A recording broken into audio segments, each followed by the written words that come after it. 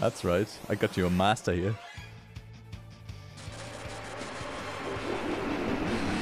Yeah, we can switch top classes anytime.